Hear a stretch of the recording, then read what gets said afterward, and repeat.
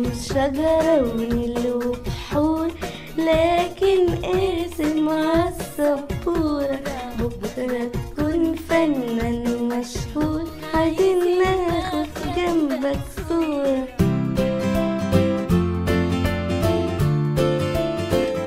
النهاردة عيد ميلادي عشان كده قررت أفاجئ نفسي بصورة حلوة قوي ومفيش رسمة من غير ألوان.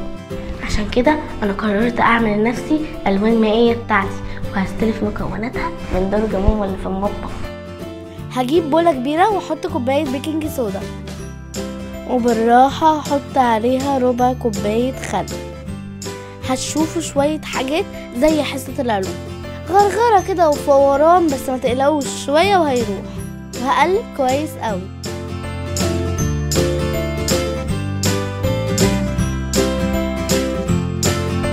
دلوقتي بعد ما الصودا هتدوب مع الخل هزود الكورني سيروب واقعد أقلب وأقلب وأقلب. وبعدين هجيب بتاعة التلج اللي في الفريزر بس ما أملاهاش قوي عشان لسه هلون الخليط ده. هجيب دلوقتي الألوان وخلة خشب.